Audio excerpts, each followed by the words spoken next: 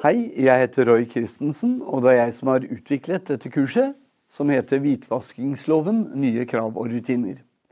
Foranledningen er ny hvitvaskingslov og all den veiledningen som nå foreligger på dette området, og de plikter som regnskapsførerforetak har til å implementere disse nye kravene og utarbeide eh, nye rutiner og sørge for at disse følges opp. Dette kurset vil passe veldig godt for øverste ledelse i foretakene og hvitvaskingsansvarlige, men også oppdragsansvarlige som har vesentlig ansvar for å påse at hvitvaskingsreglene følges på sine områder. Hvitvaskingslovens regler gås gjennom fra A til Å, og jeg er sikker på at du vil ha stor nytte av å få mange nyttige innspill gjennom dette kurset.